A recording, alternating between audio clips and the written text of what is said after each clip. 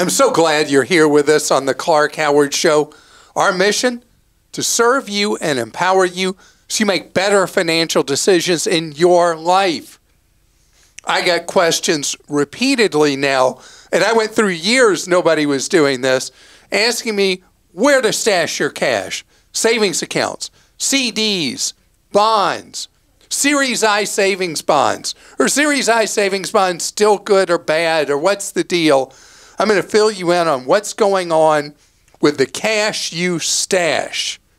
And later, many of my fellow Americans are neglecting such a key part of protecting their families life insurance. Number of people buying life insurance is going down, down, down. There was a brief spike during COVID, but now it's resumed its decline and it's leaving people so exposed to financial difficulties. I mean, think about it's enough to have to grieve over the loss of a spouse, a loved one, and then in addition to that grief, being flat out broke because now you don't have that income coming in anymore. We got to talk about this. So, you feel any guilt yet? If guilt's what motivates you, then we'll use guilt. Whatever it is that gets you to think through how to protect the ones you love is what I got to do here. So, we got a shift in the marketplace. And I want to start with the thing that we are getting deluged with questions about at our Team Clark Consumer Action Center Series I savings bonds. The reset I told you was coming, I told you about in April. It's here. And if you buy new Series I, I for inflation, savings bonds, you're now earning 4.3%. Now, you go back just a year ago, people were earning right at 10, just a little below 10%. And then six months ago, they it reset because it resets every six months. The Series I savings bonds were earning six point was it six point six and a half, whatever. And now down to four point three. So in our own lives, most of us, I'm old enough to remember when we had really bad inflation, nearly galloping inflation in the United States. But for most people today, this is the only bout of ugly inflation, because we have inflation in year in and year out, but ugly inflation, the only one you've experienced in your life. And so there's a lot of trauma to us with that. And so it's hard to see that inflation actually is declining significantly. And the Series I savings bonds ride the wave of inflation up or down.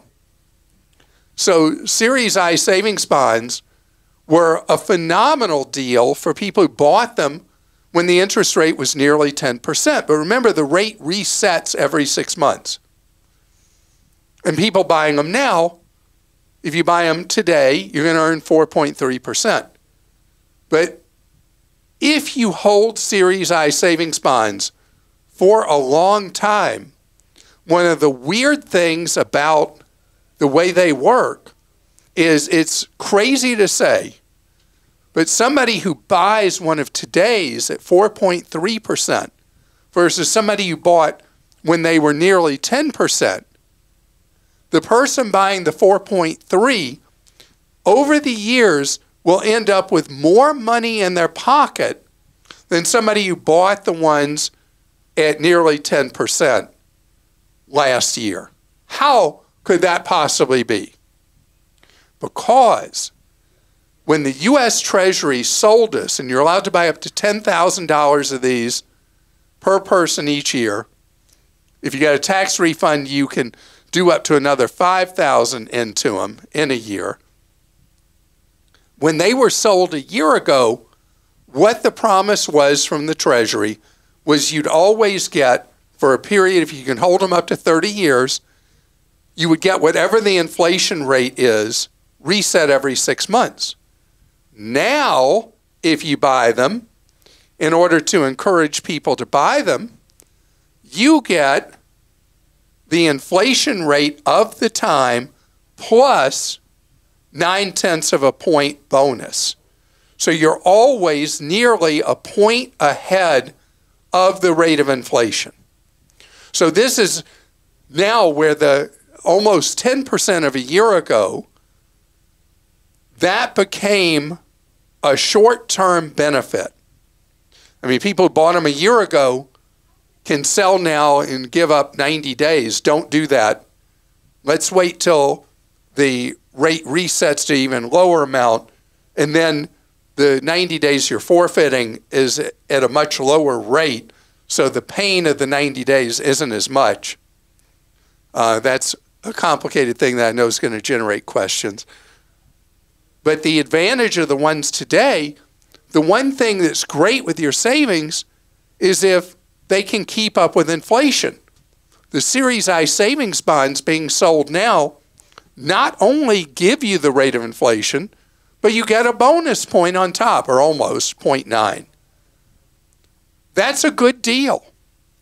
And weirdly, a better deal than what we had with the headline popping number of nearly 10%, when you couldn't earn anything close to that on savings. Ironically enough, today, right now, you can earn more on a one year CD, you can earn more on a two year CD, three, four, five, all are paying a higher rate than what the Series I savings bond you'd buy today would earn you. That's why we're going back the last two buying periods, Series I savings bonds were a strategy for potentially earning a decent amount for a shorter period of time. Today, I bonds are back to their historical purpose, which is having protection against inflation, I for inflation, plus the bonus for as long as you want to hold them, preferably a long time if you buy one now, with that 0.9 bonus. Now, if you do want to buy um, CDs, the big push, if you look at any online ad, if you still look at a physical newspaper, they're all pushing one year CDs or 15 month CDs or 13 month CDs. They're all really pushing great rates on shorter term CDs. And by great, I mean somewhere around 5%, five and a quarter percent, somewhere in the fives, unless you go to a big bank in which case they're happy to pay you one one hundredth of 1%. But the smart money looks at five year CDs. See, the inflation trend is going down, down, down. Still too high, but it's going down. Grocery prices are actually going down overall right now after we had brutal price inflation in the supermarket the inflationary cycle that we've been in is still with us, but much less dangerous than it was. It doesn't mean the work's done. We've got to get inflation back to a lower level than it is right now. But we're, the trend on inflation is your friend, which is why I'm looking right now at the bank rate list of best rates on five year CDs and they're capping out generally at 4.5%. The one year CD paying as much as 5.5%. So you're thinking, why would I tie money up for five years at 4.5 when I can tie it up for a year at 5 point something? The reason is the inflationary trends suggest, and the slowing economy suggest, that the odds really favor that a year from now, the CD rates are going to be a lot lower. And the five year gives you the ability to know that for the next five years, you will earn 4.5% more or less, depending on where you go. 4.5% FDIC insured is great. So this is a time where I'm saying earn less and it will earn you more than earning more because ultimately that will earn you less Because if we were in a time of expectations of rising inflation, I would tell you to go short. But in a time of expectations of lower inflation and a slowing economy, I'd tell you to go long. The compromise, the ladder. And I talked about the ladder recently, Krista. The idea that you divide your money into equal piles of one year, two year, three year, four year, and five year CDs. And then you're splitting the difference. You're getting some really, uh, for savings, a long term thing of five years, and then each gradient back to one. That would be the way to split the difference. And actually, there's a question from Mark in Washington about that. He says, I'd like to move my savings into laddered CDs. Brokered CDs, like those sold on Vanguard, have a higher interest rate than those sold in banks, but are bank CDs safer? No, bank CDs are not safer. In fact, this is one of the ironies that's been exposed by the bank failures. Um, I looked, and do you know just a little less than half of all money in banks now is no longer FDIC insured? I mean, this is, and that's why we've had the three big bank failures because so much of the money is not FDIC insured. People freak out about a bank, starts a run on deposits, blah, blah, blah. When you do a broker placed CD through Vanguard, in your case, Schwab or Fidelity, you will get the best rates in the marketplace and you have millions of dollars of FDIC insurance the way they broker place these at different institutions. So you get the double benefit of more FDIC insured protection and higher rates. Monica in Ohio says, I've been shopping around and investing in CDs since last July, just did a 13 month at 5.12%. Now my bank has a guaranteed 5.12% money market account, which you have to keep $25,000 in to get that rate but you can add more throughout the year and you can withdraw as long as you don't go under the 25,000. Now my credit union is offering 5% for a 2-year CD. Should I consider this as well? So excited to finally start earning some interest. We are hoping to buy a new house next year. Well, first of all, congratulations and because the cycle Monica your desire to own a home, you can't look at the 5 years I'm talking about. Um, spreading the money around like you're doing, great idea there's something I want you to check out though. Money market funds have a daily rate of interest, and the five point uh, what was it? Uh, five point one two percent on the money market. It would be very odd and unusual that they were guaranteeing you that rate over a specific period of time. So I want you to go back and make sure that it's not a floating rate. If it is a floating rate and you know you've got a year till you're going to need the money, I would do a one year CD and get the five plus percent, potentially up to five and a half percent that I'm seeing right now on the one year CDs. And Carolyn in Georgia says, What is your recommendation for a home security camera and what are the pros and cons of different ones? So there are so many brands of home security cameras, it's mind blowing. And they have different capabilities and prices.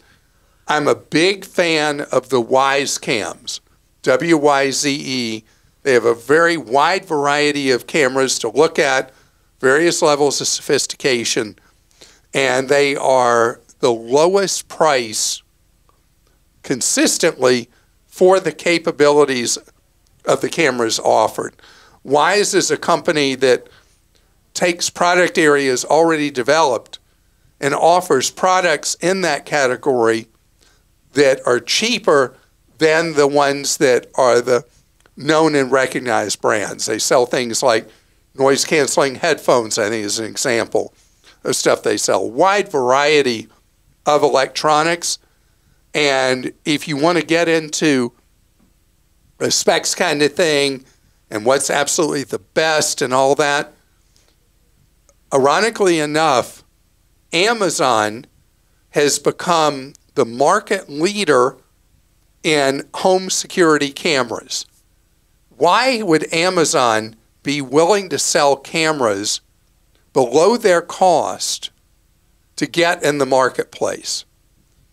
Anybody know why? Anybody know why? Krista, you want to guess? Um, I would guess a couple of things. One would be so that you're loyal to them and you want to buy more things from Amazon, and then also potentially like porch pirates and stuff. They want people to That's have. the only reason. okay. Amazon suffers so much from porch pirates. And if you look at the quality of the video of the cameras, the doorbells, all that that Amazon sells under the different brand names they subsidize or they own, the Amazon line of cameras is extremely high quality video. And it's so that they can uh, try to reduce the number of porch pirates that are invading our castles, our homes, and stealing our packages. So I would say those are, there are many other brands, and there are people saying, why aren't you talking about blah, blah, blah brand? Okay, I'm just telling you, bang for the buck, Wyze Cam's the runaway choice in terms of cost and quality and features. The Amazon owned line of cameras and subsidized line of cameras is where I'd put my efforts. And again, Wyze is W Y Z E, and we often have deals on those at ClarkDeals.com too. Yeah, because Wyze is very, not only are their products cheap to start with, but they're very promotional as well on the sale of their cameras. And the Wyze cams are so easy to set up. Even a techno idiot like me has been able very easily to set up and monitor the Wyze cams. And they typically start at 25 bucks a camera. Coming up ahead, I want to talk about a deadly subject life insurance, one that people avoid like the plague. And I'm going to tell you why you need to stop avoiding considering or buying life insurance. This is a very, very serious topic that I'm quite distressed about. And it's the number of Americans that will no longer consider buying life insurance. And Krista, what really triggered me to want to talk about this is a post that you told me about. Mm-hmm. Yeah, and I have it here. Brian in Alaska wrote in and he said, I want to thank Clark and the team for your help. I used to listen to your show years ago on our local radio station. After hearing repeated exhortations to purchase life and term life insurance, my wife and I followed through using the list of highly rated companies that we found on your website. Unfortunately, my wife passed away very unexpectedly this past winter. I'm So sorry. While we didn't have all of our affairs in order, thankfully, we did have life insurance policies in place. While nothing can replace what we have lost, as we move forward, the reality is that I will have the resources on hand to support our children and raise them in the way that we always have. I cannot thank you enough. I truly don't think that I would have followed through with purchasing life insurance had I not heard the same message over and over. And I am also thankful that I chose to work with a reputable company that processed our claim quickly and fairly. Your help matter, matters in a very tangible way, and I wanted you to know that it's making a, it's making a really a very real difference in the lives of my children. I hope that the pain in your kids' hearts and your own heart heal over time. Um, I'm really, really sorry about the loss of your wife. It's it's a very difficult transition in your life, and I'm glad that hearing me um, talk over and over again about buying life insurance did have that benefit for you and your kids. Um,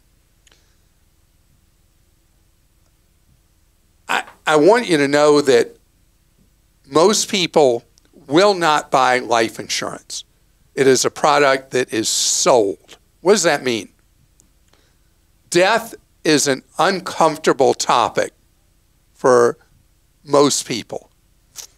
Um, for some reason, for me, it's not. I, I talk about it like I'm talking about, um, yeah, I, I found this deal at Costco today. By the way, you can buy discount cost, caskets at Costco, but that's a topic for another time.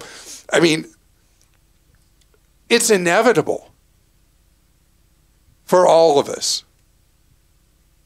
And so we hide from it because of fear and pain.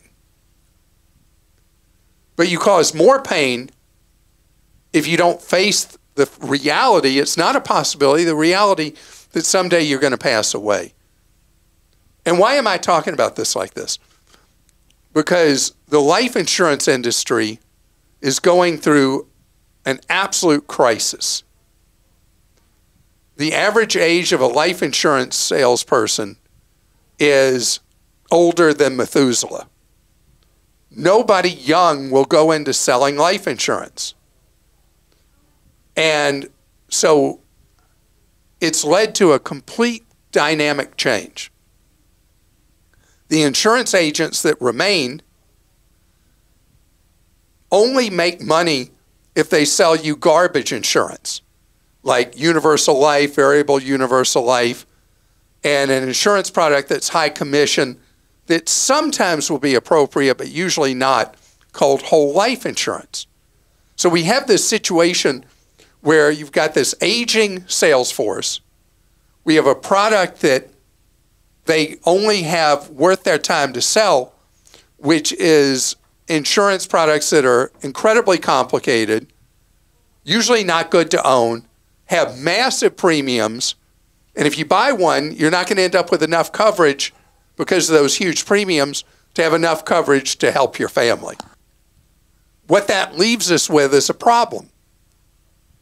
It means that you have to buy it, not wait for somebody to sell it to you. And so people will hear somebody like me talk about this and they'll go get started maybe filling out an application for the only kind of insurance most people should have, which is something known as level term insurance. It is a simple death policy. It only pays if you die.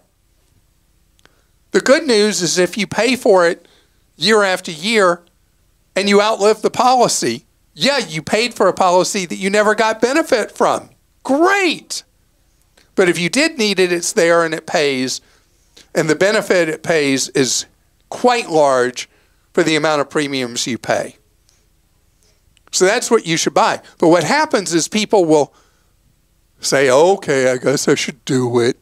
And they go look and they start to fill out an application. And overwhelmingly, the applications are abandoned. So that's why I put a big emphasis in my write up on level term insurance on Clark.com about you buying the way that particularly anybody under 40 wants to buy. Like, you don't want to be told it's going to take four or five months for this policy to go into effect, and you're going to have to have a medical screening. You're going to have to go to a doctor's office or have somebody come to you and run tests and blah, blah, blah, blah, blah. And so people don't buy it. So now there are lots of insurers that look at your medical history and just based on that, they decide typically the algorithm they use will approve you or decline you or say, oh, well, you got to do it the old fashioned way. And they'll do it all in under two minutes. The application will take you probably 15, 20 minutes because they want to know everything about you, including how many pair of white socks you have in your sock drawer. I don't know why, but I mean, not really, but the questions go on and on, and that's why people abandon it. But if you can do it and you get approved for one of those policies, bam, you're good all in one sitting, and you protected those you love. Now, what a lot of people do is they say, This is too hard. I'm going to get the horrible, terrible, rotten life insurance they offer me through work. Don't do it. If they give you some life insurance through work and you can have it for free, take what they give you for free. But gut this one out and do the application for level term life insurance so you won't leave behind. There's enough suffering when you're gone emotionally for those who love you. Don't leave them left high and dry financially by not having that insurance.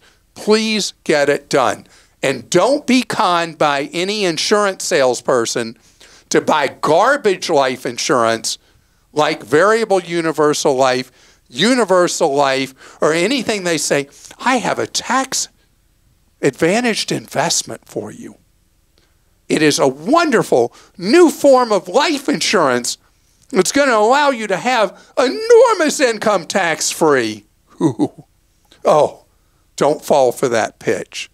Because what they're next going to do is con you into buying a variable or variable universal life insurance piece of junk. Okay, Elaine in Florida says after hearing the report from another listener regarding missing uh, or items charged to a grocery order that they didn't order, I thought I would share a recent experience. A fraudulent order was placed through my Walmart app and the items were delivered to my daughter's home 40 miles away. She does not have access to my account however, and I sometimes buy order things that are shipped to her. The order was just around $300 plus expedited delivery fee and a hefty tip for the driver. I was able to intercept the items from my daughter's home, she was out of town, and return them all to the store for a refund. The credit card was stored in my account, which I no longer do. Still, no idea how the account was accessed or by whom. I tried to report to the police, and they said there was nothing they could do since a crime was not committed. To oh. them, it was me who made the order. That was that was the police department. It's a little busy, and they didn't want to get involved in yeah a financial crime. I reported it to the FTC, but have not heard back from them. Walmart customer service refunded the charges, the delivery fee, and tip, and gave me a ten dollar voucher for my eight hours of work. All right. So, first of all, Elaine, your suggestion is one that has come up repeatedly and that is don't store a form of payment with apps you have on your phone. It's so easy to do that that it's such a common practice to store a form of payment. The criminal only would have been successful with this crime because a form of payment was stored. You were fortunate you were able to intercept this. The thing that's really odd here, your daughter would have been one of the people listed on your account for when you send stuff to her and whatever else. It's very, very weird that somebody knew your daughter was out of town and did a delivery to her address. But the great news is you stopped everything. And the most important thing that you said, I want to emphasize again if you have forms of payment stored in apps for merchants, remove the stored form of payment, even though it means you got to type it in every time. It's a better idea to do that because this crime only works if there's a stored form of payment. John in Wisconsin says you often talk about how many newspapers you read, but I don't recall you ever mentioning how you keep these subscription costs in check. For example, I have a Wall Street Journal subscription and I continue to get hit with the loyalty penalty over time as the subscription continues to increase. Right now is it it is at $40.94 per month. Do you 500 bucks a year basically. Do you sometimes cancel these subscriptions and wait for a low teaser rate again to rejoin, use another tactic to save, or do you just stomach the ongoing increases? So I do just what you asked. I let my subscriptions expire and the calls and emails get steadily more desperate, and they will offer you at many publications a welcome back deal. And so you just have to play hard to get. I mean, they've taken the page of the playbook of the cable monsters that keep pushing prices up and up and up on your internet connection, or if you still crazily get television from a cable company. And what they do is they punish loyalty, reward disloyalty. If you call to disconnect and you end up with a retention specialist, they offer all kinds of deals to keep you. With a, a print publication, well, I guess we still call them print publications, with a traditional newspaper or magazine kind of thing that likely you're getting digitally, they do the same thing. The only deals go to people who say, I quit, and never to people who say, I stay. Now, I'd be really remiss, John, if I didn't mention, because every time I don't mention this, we hear from someone, is now many library systems offer um, access to apps that get you newspapers and magazines for free just for being a member of that public library system. So that is an alternative as well that you could look at is the free digital lending of newspapers and magazines, particularly more magazines than newspapers that may be available to you. And I hope that I have saved you some money today, given you information you can use in your life or share with someone you know. And please take to heart what you heard and what I said about life insurance. And remember, we are here to serve you around the clock at clark.com, where you can find our guide to buying level term life insurance.